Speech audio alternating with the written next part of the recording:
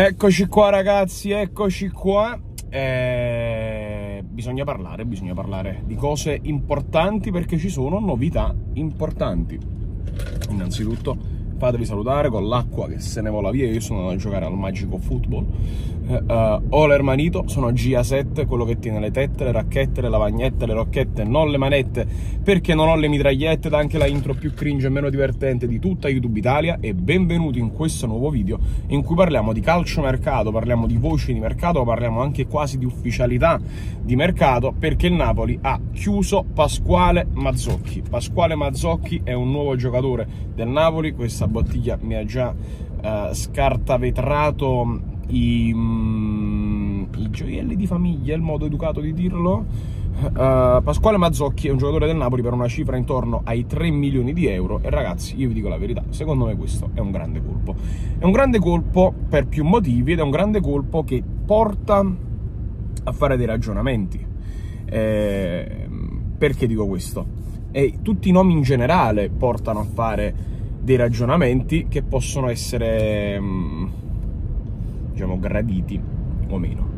Allora, innanzitutto il Napoli si porta a casa Pasquale Mazzocchi, stamattina ha fatto le visite mediche, probabilmente quando vedrete questo video uh, ci sarà già stata uh, l'ufficialità oppure in procinto di, uh, non ne ho idea, però siamo, siamo, lì, siamo lì, il giocatore è già arrivato a Villa Stewart, a meno che non succeda un qualcosa di clamoroso, Pasquale Mazzocchi è un giocatore um, del Napoli, viene dalla Salernitana e, e, ed è un acquisto che andava fatto, parliamoci chiaramente, 5 mesi fa, andava fatto quest'estate, o lui o Marco Davide Faraoni, ne abbiamo parlato un milione di volte, ogni volta che noi dicevamo chi vuole la permanenza di Zanoli a Napoli non vuole il bene né di Zanoli né del Napoli. Perché dico questo? Perché quando tu tieni uno davanti come, come Giovanni Di Lorenzo, tu la crescita come la puoi effettuare? Come puoi crescere come giocatore? Come puoi pensare di diventare, um, di diventare quello che potresti essere? Perché ragazzi, Zanoli è un, un, ragazzo con talento, un terzino con talento, un eventuale forse esterno a tutto campo di talento e mi ricordo che quando si parlava di Zanoli al Genoa io ero contentissimo perché secondo me uh, nel Genoa fare l'esterno a tutto campo avrebbe potuto fare veramente molto bene, ha fatto molto bene uh, alla Sampdoria l'anno scorso eh, giocando eh, anche alto in un 4-2-3-1 perché ha comunque delle qualità offensive eh, molto, molto valide, uno molto veloce e quando tu sei dietro a Giovanni Di Lorenzo che letteralmente non si salta una partita, speriamo sempre bene, e, e, che è il capitano del Napoli che non può essere tolto da questa squadra, a meno che, di, di, che non succeda un qualcosa di clamoroso, perché tenerlo? Non aveva senso tenerlo e quando lo diciamo no, perché poi quello è importante, Garcia lo vuole, crede in lui e abbiamo visto. Mazzocchi è perfetto, innanzitutto lui nasce in una zona più avanzata del campo, però è, ehm, è, un giocatore molto duttile, uno che può giocare sia a destra che a sinistra, considerato il fatto che noi il problema sulla sinistra ce l'abbiamo ancora perché Olivera non è tornato e poi il problema del terzino sinistro noi non è che cioè noi ce l'abbiamo nel sangue, ce l'abbiamo letteralmente nel sangue il problema del, del terzino sinistro. E, e Mazzocchi può giocare da entrambe le parti. A me il discorso del chi difende, non difende, non, difende, non mi piace. Lo si, lo, cioè, è lo stesso discorso che si faceva per Cancelo. Chiaramente parliamo di due livelli completamente differenti, però il Napoli è una squadra votata all'attacco, il Napoli è una squadra che deve tenere la palla. Mazzocchi è uno che comunque la fase difensiva la sa fare, la fase difensiva poi la deve curare principalmente l'allenatore. E a proposito di allenatori, i famosi ragionamenti che dovevamo fare prima, perché i giocatori che stanno uscendo, i nomi che stanno uscendo, fanno pensare sempre di più ad un possibile passaggio definitivo ad un modulo a 3. Voi sapete che io non amo parlare in generale uh, di moduli, ma preferisco parlare di compiti, di interpretazioni. E, ehm, poi chiaramente esiste lo schema base, no? Poi è tutto relativo, bisogna muoversi in base agli spazi che si creano, bisogna muoversi per creare gli spazi, bisogna andare ad occupare magari lo spazio del proprio compagno, non è detto che se tu sei terzino destro devi rimanere terzino destro, ricordate sempre le parole di Luciano Spalletti, non ve le dimenticate mai, ehm, ed è ed è importante fare questo tipo di ragionamento. E chiaramente il primo nome che viene in mente è sempre Antonio Conte. Perché quando si pensa a Dragusin si pensa ad Antonio Conte. Quando si pensa a Oiberg si pensa ad Antonio Conte.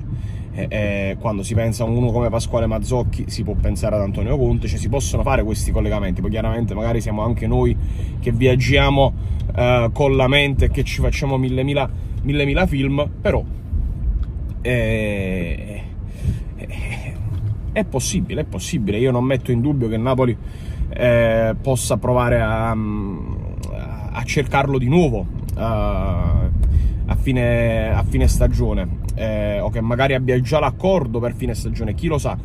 Io penso che sarebbe stato perfetto, ma proprio, appunto, proprio perfetto, perfetto, perfetto nella prima sosta dove andava esonerato Rudy Garcia dopo la Fiorentina non so se ripartirei effettivamente da lui uh, a giugno, sarebbe comunque Antonio Conte, sarebbe comunque un colpaccio incredibile che ti porta gente, che ti porta uh, un mercato importante, che ti porta certa, uh, un certo rigore e, e, che ti porta risultati in maniera anche, anche bella da vedere perché comunque Antonio Conte è uno che si evolve tanto, è uno che studia continuamente e quindi sarebbe comunque una, un allenatore che può fare al caso del Napoli, magari viene a fare il suo famoso 4-2-4 che fece um, al Bari, e, e, tutto può succedere, veramente tutto può succedere. E, ehm, io, io, impazzirei se ripartissimo magari da un, da un, allenatore giovane, da un Palladino, da un Tiago Motta che già ci ha rifiutato, da un, da un Farioli, questa gente qua secondo me sarebbe veramente eh, tanta tanta roba. E, ehm, però eh, chiaramente Antonio Conte non è, di, non è, di, certo un piano B. E tutti questi calciatori fanno pensare ad Antonio Conte. Non penso arriverà Oiberg e vi dico la verità non penso arriverà neanche Dragusin. Cioè io parlo proprio di quella che può essere magari uh, l'idea della società. Io penso che alla fine uh, Dragusin andrà al Tottenham eh, penso che Oiberg uh, non rientrerà nei, nei, colpi del Napoli. E, però Mazzocchi comunque un esterno a tutto campo, eh, per me perfetto, vice di Lorenzo. Eh, eh, il Napoli secondo me fa un buon colpo, fa un buon, buon, buon colpo. Non è stato visto benissimo da molti, secondo me è un upgrade oggettivamente di Alessandro Zanoli, almeno ne, ne, in, nella, nella, maniera più immediata lo è, e nel senso più stretto lo è. Eh, poi bisogna vedere in futuro cosa diventerà Zanoli, sperando che al Genova possa eh, acquisire ancora più fiducia. Io penso che comunque lui difficilmente a Napoli avrà spazio per fare, per fare benissimo, perché Di Lorenzo penso voglia chiudere la carriera a Napoli, a meno che veramente non si tratti poi di... Uh, non, cioè non si vada a fare um, un... Um, un modulo con una difesa a 3, eh, significa con tre interpreti che fanno i difensori centrali, con, con l'esterno a tutto campo, e lì magari Zanoli potrebbe effettivamente trovare, trovare dello spazio e sarebbe interessante da vedere con Antonio Conte. Eh, eh io, io, ripeto, parlo di Antonio Conte come se, fosse, come se fosse una cosa già fatta, che non è assolutamente. Però tutto può essere, per me Pasquale Mazzocchi è un colpo da 6,5-7, eh, anche per rapporto qualità-prezzo, perché un, cioè, 3 milioni secondo me eh, Mazzocchi li vale. Eh, era, di, era, il mio preferito, diciamo, sul, sulla lista tra quelli che ce ne parlavo anche quest'estate, preferivo lui anche a Faraoni e, bene, bene così, valido tecnicamente, valido offensivamente, uno che ha comunque delle buone doti balistiche, che ti può fare assist, che ti può fare il gollettino. E, bene, bene così, bene così. Ragazzi, mi raccomando, fatemi sapere quello che pensate voi con un commento qua sotto, lasciate un bel mi piace, iscrivetevi al canale, in descrizione troverete Facebook, Instagram, Twitter, tutto quello che volete sarà lì giù, troverete anche G7 Shorts, il mio canale pubblico teleclip, momenti iconici, momenti divertenti del canale, TikTok preferiti, noi ci vediamo la prossima volta, sempre e comunque, tutta la vita, forza Napoli!